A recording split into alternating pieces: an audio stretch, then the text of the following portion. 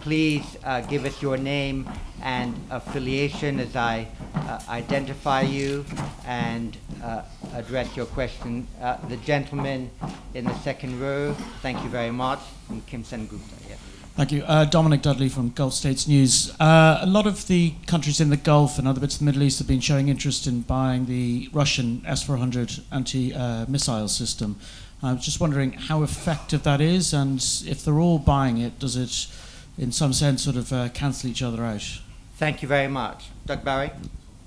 Um, how effective is S400? SA21? Uh, very, very good question. I wish I knew. Um, I'd probably make a lot of money out of it. There's a range of systems within that um, SAM family, as it were. Obviously very capable. Uh, the Russians are keen to sell it. Uh, the nature of the versions that get sold will be interesting. They won't be exactly the same, obviously, uh, uh as the variant that the Russians retain for themselves. But certainly, in, in, to see that system proliferate in the region would, would, would be of concern. Predominantly designed to deal with aircraft rather than missiles, it has, it has a limited uh, anti-missile capability and also the ability to engage cruise missiles. Kim Sengupta, uh, just here, Anais, right up here. That, there we go. Thank you. Um, um, uh, Kim Sengupta from the Independent. John, can I ask you two quick questions about North Korea, which you didn't mention in your mm -hmm. address just now, and, and China again? Um, what do you think will happen uh, with North Korea in the sense that you think this this games diplomacy in, in the Winter Olympics with uh, Kim Jong Un's sister being there, the titular head of state being there, invitation to President Moon to go to Pyongyang, will that lead to anything, or, or do you think, like the Japanese and Americans do, this is just shadow play? And the second thing, John, is about China. Mm. Uh, the Japanese government appears to have now agreed to deploy surface-to-air and anti-ship missile in Ishigaki Island next to the Senkakus.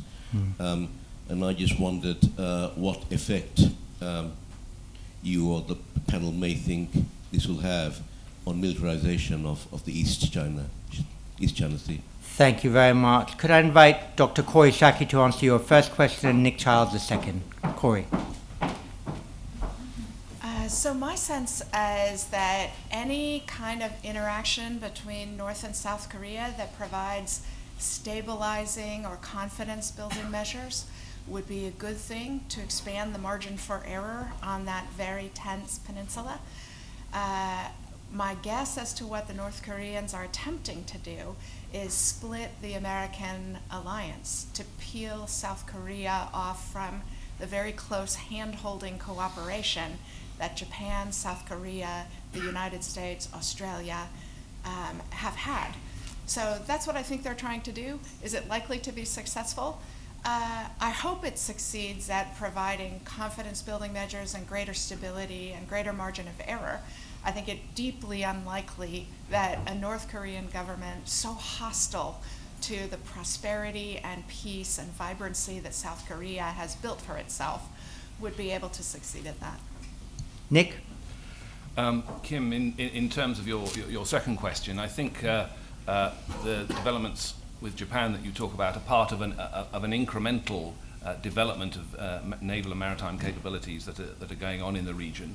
Um, John, in his introductory remarks, uh, made the point about the, the significant developments that are going on in terms of, uh, of, of Chinese uh, naval and maritime capabilities, and we are seeing responses from, from Japan and others. Uh, and in the context of a developing anti-access, area denial, sea denial, and sea control competition that, that is underway. You are seeing um, you know, significant uh, maturing of, of uh, Japanese naval and maritime capabilities as well in response, in, including into uh, in some areas where in the past there has been uh, a, reluctance to, um, to develop.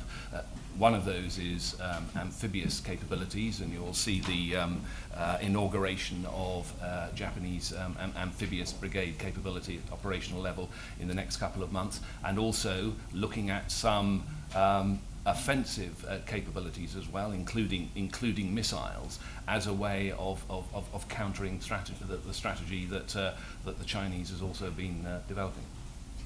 Can I just add, add a couple of words on that.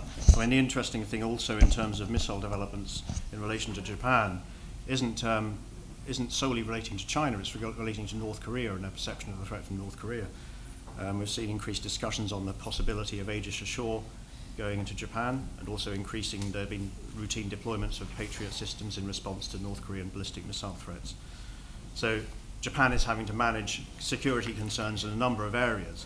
But I think the, uh, the introduction, if it did happen, of Aegis Ashore would be an interesting step on the part of the Americans, particularly if then it took the form of having uh, Tomahawk as well as um, the standard missile included because of the ramifications that might then have for the um, Aegis Ashore systems in the European theatre.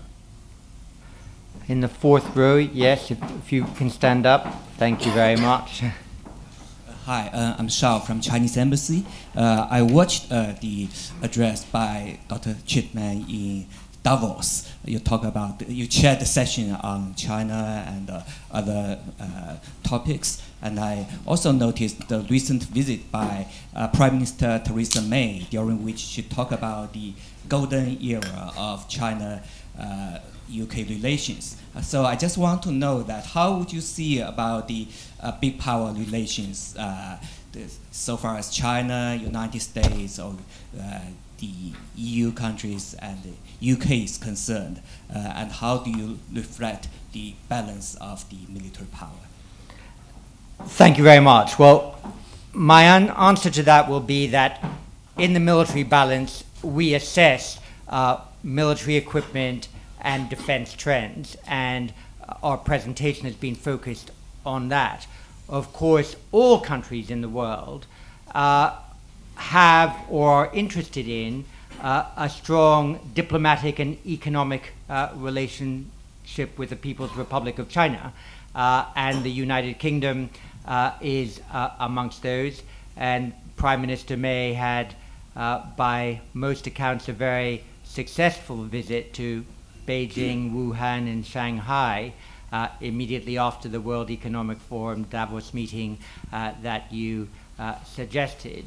Uh, the interesting strategic issue is that uh, many countries uh, will see that they have a growing economic relationship with China, but a growing strategic challenge that China's arrival as a global player uh, poses. Uh, so it's that geopolitical reality uh, with which uh, powers, uh, great and small, I think, are now conjuring.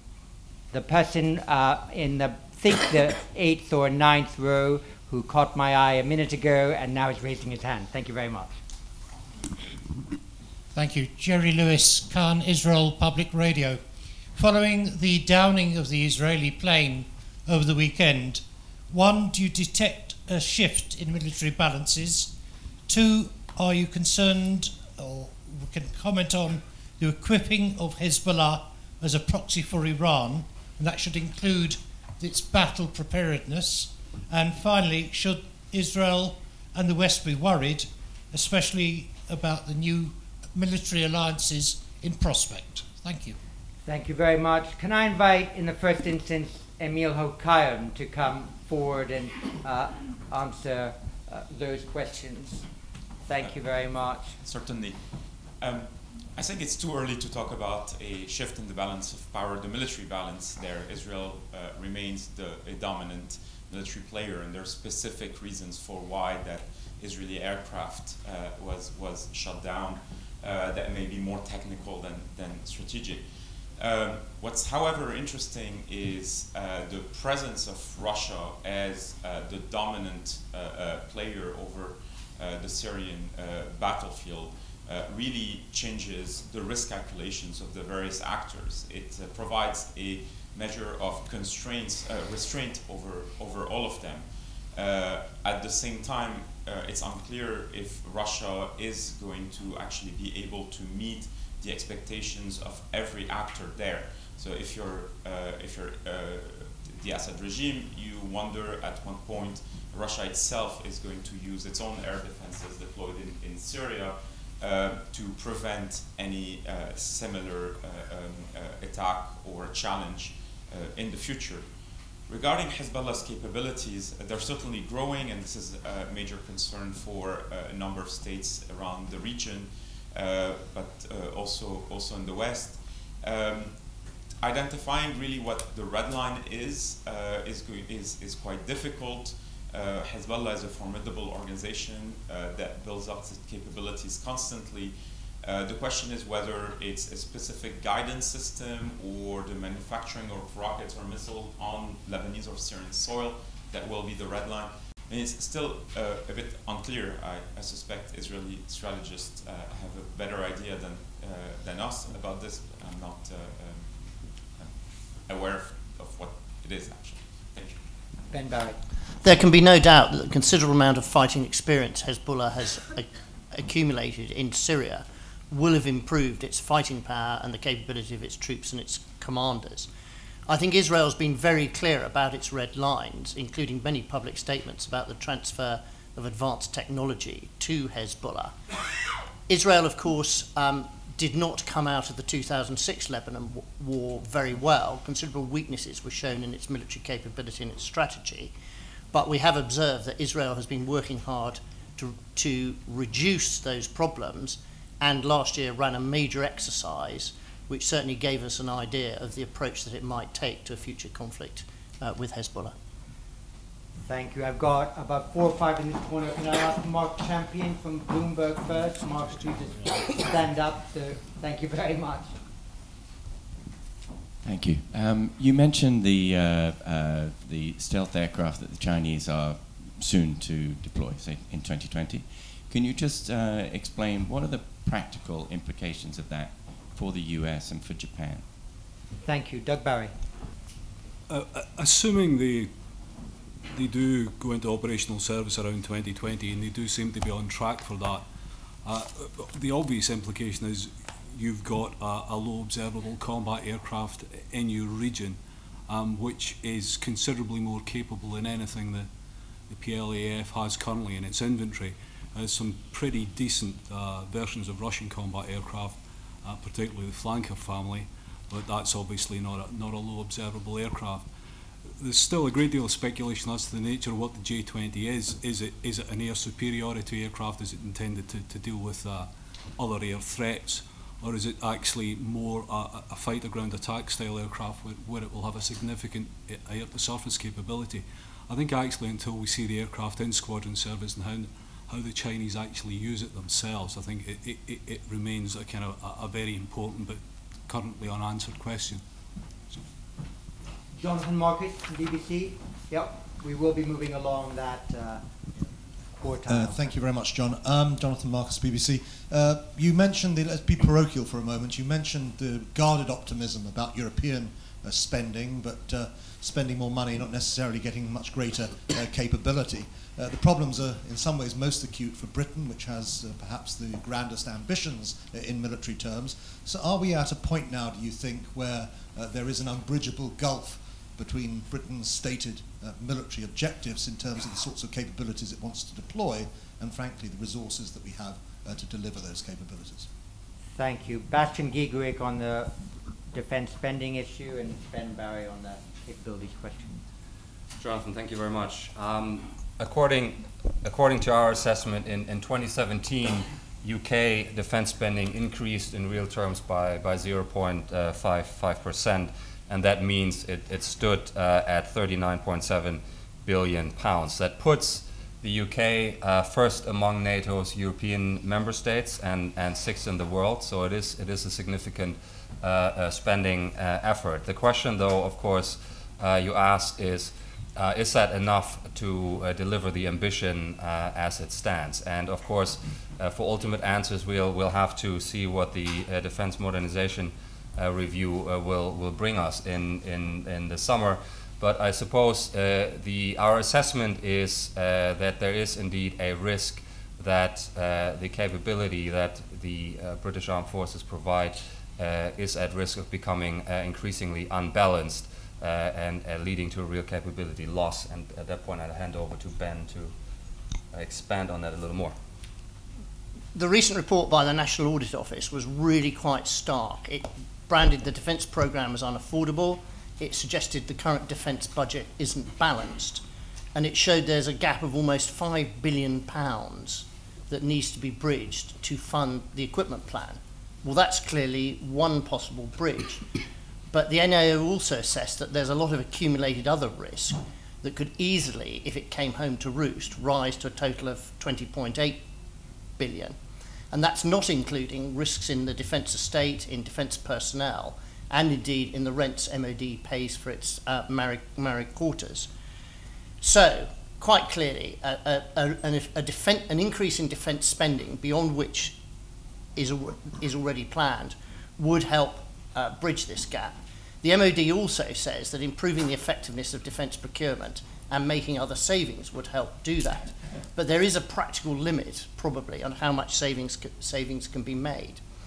If that gap isn't bridged, um, we're likely to see a further shaving away of capability, as illustrated by those leaks to the Times last year, which I thought were very, very credible.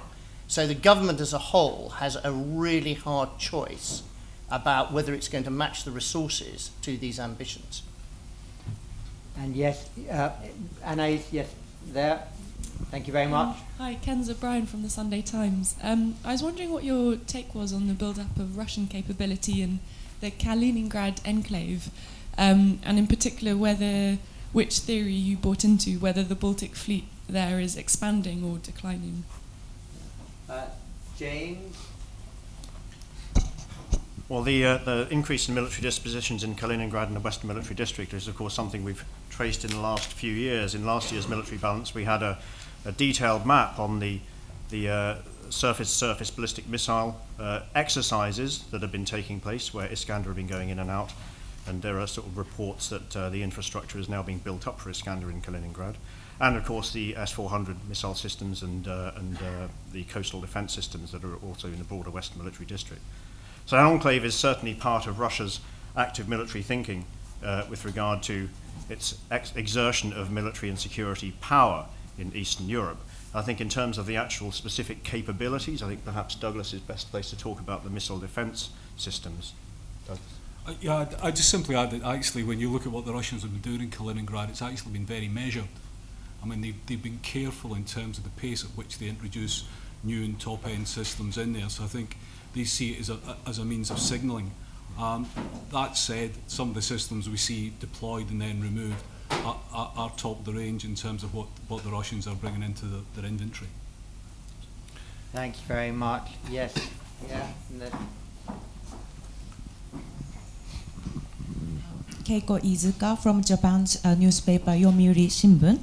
Uh, I would like to know more about North Korea uh, its uh, nuclear and missile capability.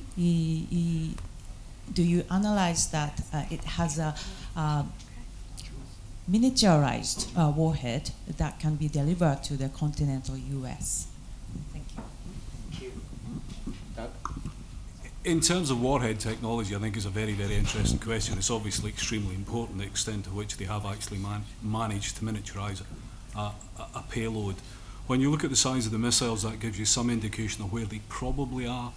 Uh, at the moment, the missiles, in terms of the, actually the dimensions, are quite large. Um, the area I've been looking at particularly, which would again be indicative of, of, of further development, would be to see the emergence of a cruise missile in, in the DPRK, because again, that would indicate that you have actually managed to, to really get the warhead down to a size where you can fit it in a much narrower diameter tube.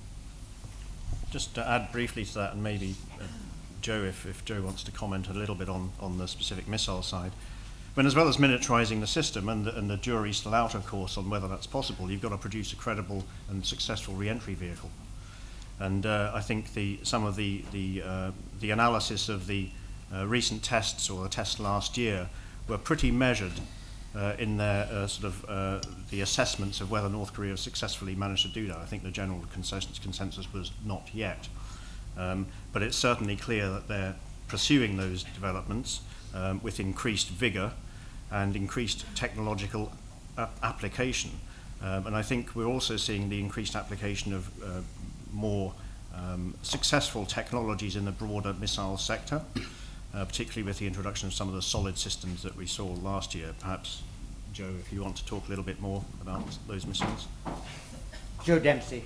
Um, just following on what my colleagues have already said, I mean, last year was quite a year in terms of missile testing, as we know. There was 20 uh, ballistic missile tests that were conducted last year. Um, this includes five totally new systems we hadn't even seen, and by the end of the year, they were all tested successfully. Um, this includes their first ICBM tests. In fact, two different types of ICBM tested last year, which theoretically um, could reach the entire United States mainland now, and indeed half the world potentially. Um, some technical hurdles may remain, though. Um, one is the reentry vehicle, as my colleague James mentioned, but there's also the ballistic accuracy of these systems at longer range, longer range than North Korea has ever tested before, as well as of elements like the warhead fusing, whether that could actually survive um, the reentry uh, vigors. Um, what we might see next year is more testing of these systems as they demonstrate to themselves, but also others, um, their actual capabilities towards their long-term held ambition of successfully fielding um, a, a long-range ICBM system which could in, potentially um, target the United States with a nuclear weapon. Yes, you sir, do stand up and thank you very much indeed. Thank you. It's Masato Kimura, Japanese journalist. Uh, my question is about uh, air dominance and aircraft carriers in East Asia. And uh, recently in Japan, South Korea, uh, we will uh, uh, have a small aircraft carrier with F-35B and so, uh, Douglas, in your view, in next 10 years, uh, how many aircraft carriers of China and U.S. and uh, so South Korea and Japan and Australia small aircraft carriers in your calculation in next 10 years? I think I'll pass that to yeah. Nick. Yes, Nick Childs. Thank you. Well, uh, in, in, terms of aircraft carrier developments in, in the region, the, the, the key, uh, uh, as far as change is concerned, is how um, China's uh, carrier capabilities develop. And clearly, they are investing a significant amount in that. They have one at sea that is uh, um, a, a second-hand Russian carrier, uh, a second uh, built uh, indigenously. This is a close copy of that, but has been built uh, in, in fairly rapid uh, time uh, and is, is fitting out at the moment. And I think that is an indication of um, the investments and the, and, and the level of uh, investment that is going into that capability. The next question is, is what, uh, what comes after that, possibly a, a new design that is, it, it is more capable. Uh, and that will begin to give uh, China a growing capability to operate independently at greater range uh, with those forces. There is uh, inevitably uh, the potential for a response to that. Uh, of course, the United States uh, is, is the other player in that region that still will maintain a preponderant uh, capability, and they demonstrated recently that they could deploy three carriers uh, simultaneously into the region, so they will still have a capability. The big question mark, uh, as, as you are hinting, is a, a range of aviation ships that um, other uh, nations uh, have, which are not classic aircraft carriers, uh, have different roles. Uh, that are more to do with anti-submarine or amphibious warfare. Uh, Japan, as you say, has some of these. They are classified as helicopter-carrying destroyers, but they look very much like um, medium-sized aircraft carriers. Uh, South Korea has the same. Uh, Australia also has a couple of um, amphibious ships of that nature. And uh, one of the question marks, which has been raised, I think, in, in Japan, is in response to those developments in the, in the next few years, whether there will be an incentive and a logic in some respects for those countries to look at the jump jet version of the F 35B Joint Strike Fighter uh, as a way of um, providing a limited carrier capability uh, in response uh, to improve their ability to to operate at, at, at range. Uh, and, and I think that is a, a, a key question in terms of how uh, aviation capabilities in the region uh, develop in, in, in the future. Nobody has made a decision yet, but the fact that this is being talked about, I think, is, a, is an indication of how maritime capabilities are developing and the uh, expectation is, as I say, as far as China is concerned, that uh, uh, over the next decade they will be uh, further improving their carrier capabilities, that they should have probably at least three carriers in operation during the course of the next decade. The question will be how much further they go in terms of further developing that capability. And in the second row here, General Villas. Thank you. Uh, Charles Gradin, a member of the Institute. Uh, could I first thank you for the military balance, which I think is an outstanding document and reflects great academic research and excellent analysis, in my view, and I suspect in the view of most others. But what I wanted to ask is really about capability. And while platforms are incredibly important, the, the success of the West, and most particularly the US, over the last uh, 50 years, really, has been its C, C4I hmm. capability, a lot of which has been space-based. To what extent will China and Russia be able to compete with the leverage which the US is able to get and the Western powers are able to get as a result of the use of space-based systems? Thank you. Doug, and I don't know whether Nigel Inkster might want to have a word on this too as well, please. Doug. Thanks, uh, thanks Charles. Um, I think you can almost look at it in, in, in, the negative, which is to say that one of the things that both China and Russia are very conscious of is the advantage that the West and the US in particular gets out of that C4I infrastructure and architecture, as you point out very correctly, uh, a lot of which is space-based. Uh, obviously, the, there is a lot of effort in both Russia and China in both uh, hard and soft kill capabilities against that kind of infrastructure and architecture, either how to degrade it or deny it. And indeed, you see the US talk more and more about having to be able to operate and fight in a denied, degraded environment where perhaps not all your space infrastructure is operational. A lot of it could either be a soft kill, or in fact, you could have lost the satellites.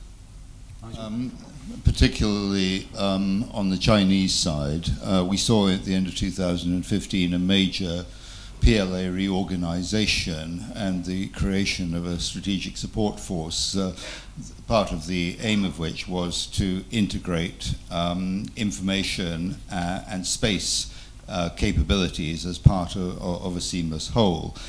Um, and as Doug said, um, China in particular has been uh, looking hard at uh, ways in which it can uh, compete within the space environment. In 2007, China uh, undertook a successful um, anti-satellite test in which it uh, destroyed um, a low Earth orbit uh, defunct weather satellite with, with a ballistic missile.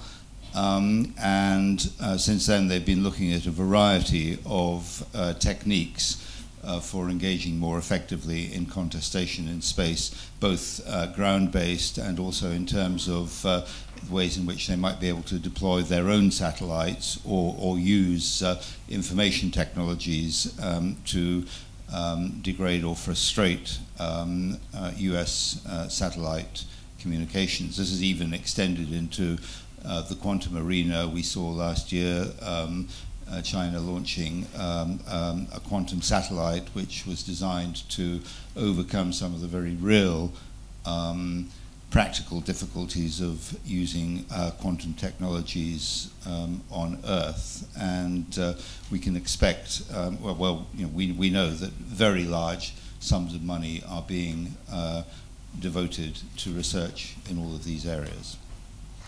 Thank you. In the back row, Deborah Haynes from the Times. I don't know whether we should be asking you questions or you us, but anyway, it's your turn. So go ahead, Deborah. Do stand up. Thank oh, you. Sure. Sorry. Um, I, have a, I have a simplistic question.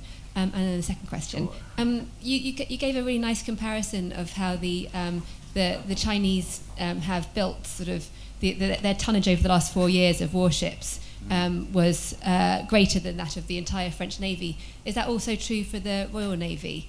Um, and then my second question is, um, you talk, uh, you know, you talk obviously about the Chinese um, advances. Um, is it inevitable that at some point um, China will become the um, the ultimate military superpower, overtaking the United States? As you know, innovation and technology seems to kind of affect the, the traditional capabilities and, and, and their ability to maintain America's position. Thanks. Thank you very much. Well, on the first question, uh, uh, Nick Childs, and perhaps on the second, Dr. Kori Schake, because, of course, the U.S. Uh, uh, Defense uh, Review was published last week that takes into account uh, the realities of, of, a China that is pursuing uh, these military ambitions. So, Nick Childs first, Royal Navy. yes, Deborah. Um, the, the, the, numbers are such that the Chinese shipbuilding is on a par with the total uh, Royal Navy tonnage capability. Royal Navy tonnage at the moment is, sli is slightly um, uh, in advance compared to the French Navy because they have a, still have a large proportion of auxiliary ships. Um, having said that, both the, um, uh, the French Navy and the Royal Navy represent very significant um, naval capabilities still, albeit with challenges on both fronts, but they still have a, uh, very much a, a, a, a, global capability that can be deployed. But I think the, the point, uh, particularly about China, is that the strategic position is changing rapidly as a result of this significant investment. And the other element uh, to be brought out about that shipbuilding is that it is across the board. So it's not just in terms of tonnage that we're talking about,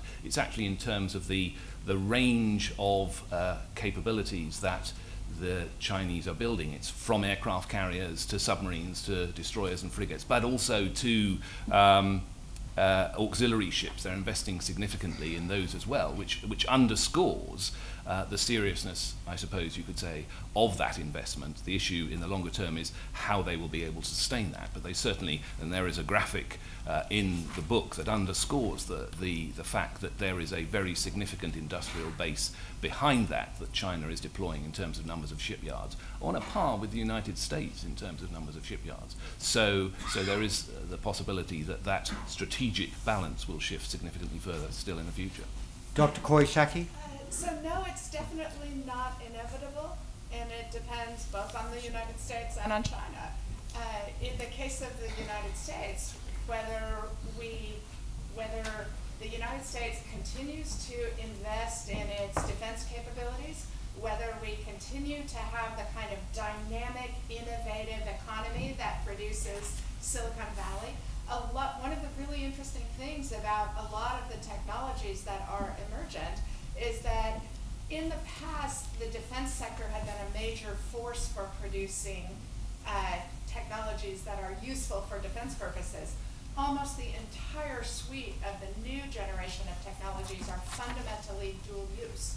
And so one question China has to ask itself is whether it has the kind of economy and has the kind of uh, relationship between people and its government that produces that kind of innovation and sustains it, whereas Western economies have already demonstrated that. So there's both an American part of the um, answer, which is do we have the willingness to continue to produce strong, capable defense forces? Do we have the gracefulness to continue to play team sports? Since America's alliance systems have been a major element of both of our strength the affordability and the sustainability of the, of the rules-based international order.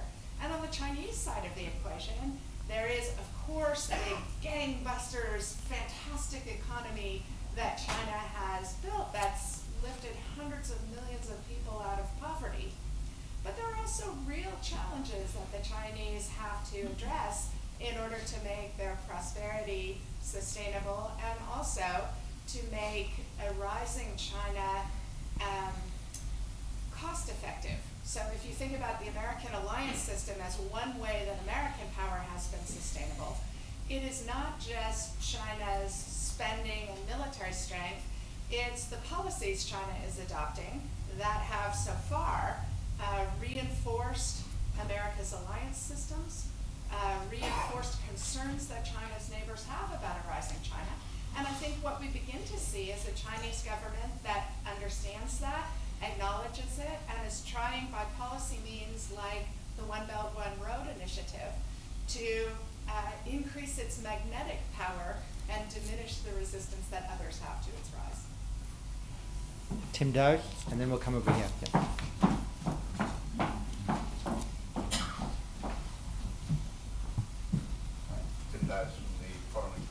Office, um, uh, but not in an official capacity. Um, quite a lot of this discussion has felt quite traditional, talking of air dominance and warship construction and numbers of missiles. I just wonder if we might be missing something, if conflict in the 21st century is less about taking and defending territory, but more about exerting power and influence. Should we be spending a bit less time doing what the military balance does so well, counting platforms, and perhaps a bit more time looking at asymmetric capabilities? And John, you referred to it, I'm thinking particularly of the cyber domain, capabilities that go at, that perhaps um, overt and covert, uh, that go at the uh, political willingness to make use of the platforms that we have. Thank you very much. Well, I think I did have a passage in my prepared remarks that anticipated that question. Perhaps John Raine could answer it. Um, Tim, thanks for that cue. Uh, yes, ab- absolutely. I mean, we are very, very concerned to be able to, to measure um, this alternative means of projecting influence um, to the point of contestation. And I, I think it, it, it breaks down into, into two areas. There are, there are those techniques for projecting state influence which are designed to prepare the way for or to support a military operation. Um, and of course, the, the locus classicus of all of this was in the Ukraine, where um, everyone learned a great deal about how those techniques are deployed. And some of those are, are, are measurable, um, detectable, uh, and, and perhaps one day will find themselves in, in a military balance. Uh, the second area is much more problematic, but more, more prevalent, where the state is being mobil- mobilized to the Russian state largely uh, to achieve designated ends which are inimical to um, the interests of ourselves and the Western Alliance. Uh, and we, we highlighted a number of those, those areas. Uh, the ones which I think everyone is most aware of is, is Russia's steady uh, progress in her, her ability to interfere in democratic processes through very sophisticated hacking. And I think what we're seeing here is um, the reverse of what we're seeing of, of Russia's development in other domains, where they're, they're actually ahead of their principal adversaries, and they've got there um, largely through disrespect for international norms, but also a terrific amount of investment and coordination of effort. In the military domain, we, we, we see a lot of these activities led and embedded into campaigns by the GRU. On the civilian side, it's harder to see um, what, what the ORBAT is behind them, but it's, it is easy to see some of the impact, and very senior officials have, um, in the US have, have given testimony listing the occasions on which the Russians have been found interfering directly in democratic processes, and, and it's, it's a long and disturbing list. So I think what the Russians are involved in here is a systematic development of these techniques and a deployment of them um, to test the boundaries. Um, and as John said in his opening remarks, uh, what we haven't yet worked out is how properly to boundary Russia on these techniques. Do you want to add something, Ben? Well, this is the military balance rather than a wider compendium of dark arts. Um, but look, what, what we are seeing with some armed forces is quite innovative approaches uh, to the military dimension of this. In many cases, like the British and UK armed forces, they've hardwired and institutionalized some of the hard lessons in terms of capability they needed for Iraq and Afghanistan, and we've seen them using them uh, in the campaign against Daesh. And if you want to take an example, it's the US Army's Psychological Operations Group, it's the British 77 Brigade.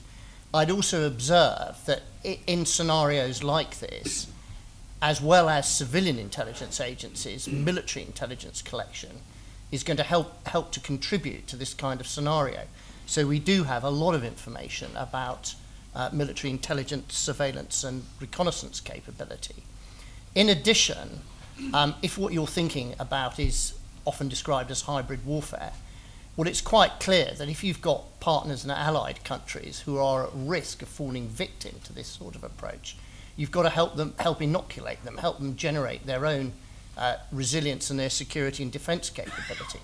And again, in the military, we're seeing dedicated, some dedicated uh, units and formations being set up for this. Uh, for example, the British Army's specialised infantry um, which is an attempt in a British way to do what US Green Berets have long been doing, and at a larger scale, the US Army's Security uh, Force Assistance Brigades.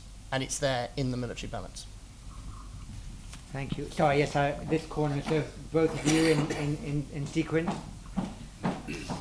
Sorry if my peripheral vision failed That's in right. the early. Um, Robert Wall with the Wall Street Journal. I Thank had you. two questions. One, just to follow up on your opening comment on the real term spending growth in Europe. I just wondering if you could give us the usual 2% uh, question, answer question, whatever you want to say. Where are we right now um, with the various European countries and what are the trend lines? And then the second question, unrelated, Iran. I mean, we've obviously seen the drone deployment there uh, that got shot down in Israel. We have the Houthi ballistic missile with Iranian uh, fingerprints all over it. Is there something going um, more strategic going on there that they're willing to push out more advanced uh, technical equipment um, to fight on their fringes than perhaps they were a few years ago? Thank you very much. So on the first, um, I might ask uh, Lucy if she might speak a bit to the question of trend lines, you know, 2010, 2017, say, uh, and where things are going, and maybe Bastian, if you want to add anything following what Lucy says. Lucy first, please. Thank you. Um, so regarding European defense spending, uh, what we observed this year is really a, a trend that's going upward. So as uh, John Chipman mentioned, uh, the pace of growth this year was 3.6 percent. This made Europe the fastest growing region uh, in terms of defense spending this year. And so what's also interesting is to see that this trend is set to continue uh, in the coming years. Um, so uh, not only the UK, but also France and Germany have committed to increase defense spending uh, in the short term. Uh, but it's, this is across Europe. Uh, in Scandinavia as well, you have Norway, Sweden, Denmark have all released plans to uh, increase defense spending up to 2021 or even 2025 in the case of Sweden. And that's also the case in southern parts of Europe, uh, such as Spain. So uh, this is really the, the observation at the moment that this trend is going up and it's set to continue. Um, first, uh, uh, if you look at it in, in a slightly longer timeline, uh, going back to the beginning of the decade, uh, 2010, because you have the NATO Secretary, Gen- Secretary General in saying in 2014 15 we turned a corner, and, and, and in, in terms of a general uptick, that's true. If you do a comparison to the beginning uh, of this decade, 2010, uh, NATO European spending is still 4% less than it was in 2010 in, in real terms, so in constant 2010 uh, uh, uh, dollars. The second point is uh, since you brought up the 2% question, um, you probably saw the Secretary General saying uh, he expects in 2018 eight uh, NATO member states to meet the 2% target. Uh, we have currently in 2017 uh, the US, uh, uh, Greece, and Estonia meet that target, and we have for 2018 uh, uh, Latvia, Lithuania, Poland, Romania, and the UK within reach. Obviously, that depends on growth um, uh, uh, and and how that actually develops over the course of the of the year. But uh, we are uh, also uh, looking at a country at, at a set of eight countries uh, that might reach uh, that target in 2018. Thanks. On Iran, if Emile Hokayem wants to say something, I don't know if John Raine wants to add anything on Iran. You can decide after Emil has uh, provided his response. I mean, the Iranians continue to uh, project power through asymmetric strategies, uh, but certainly the introduction of technology, both on the Syrian battlefield and the Yemeni ones, have been uh, um, uh, very notable developments. It has to do with the nature of the fights in both places. It has to do with, I think, specific Iranian signaling uh, to to the various adversaries. It also has may well have to do with um, you know a desire to to test uh, some technology directly on, on on the battlefield. At the same time, what's interesting is that Iran seems to have uh, stopped testing uh, or uh, or prodding the Americans, for instance, uh, in the Persian Gulf itself. And hasn't really tested a, a, a missile directly in, in recent months, I think since since August. So um, I, I I think the, the, the Iranians um, want to test the Americans to some extent, but they also want to come across as uh, reasonable actors, especially because of the nuclear deal. Uh, while in Yemen and Syria, well, this is war. So you can actually try to use the ambiguity of that uh, that space to, to push specific uh, um, um, strategies. Thank you, John. one very quick thought. Uh, the, the, the, somebody asked earlier whether or not the, the balance of power has been materially affected in the Western region, and I think in the Middle East it has, and it's tipped in favour of Iran, partly by design, that was what the Iranians wanted, partly by, by accident. They benefited from um, such mishaps as divisions within the GCC, but the overall result is that they're considerably up on the day. And, and if, if you look at capabilities, they've got a capability that many others have tried to replicate and failed. They're very good at militias, and what were once called proxies, affiliates. And they, they have worked out how to use those effectively, in, and in the Middle East, that is giving them something of a strategic edge. Thank you. Yes. Thank you. My name is Justin. I'm a student at the University of Notre Dame. Uh, last week, U.S. forces in Syria came into conflict with uh, Russian citizens acting as part of a non-state organization, hmm. uh, and those types of forces might seem similar to the ones used in the Crimea invasion. Do that does that type of non-affiliated force factor into the global military balance if it's being used to achieve state ends? Um, and how do you see that standing in maybe the next five years? Um, that's an excellent question. How we capture non-state uh, groups that have, as you say, state effect is a really important one. Perhaps since it's methodological in nature, I might invite James Hackett uh, to answer it.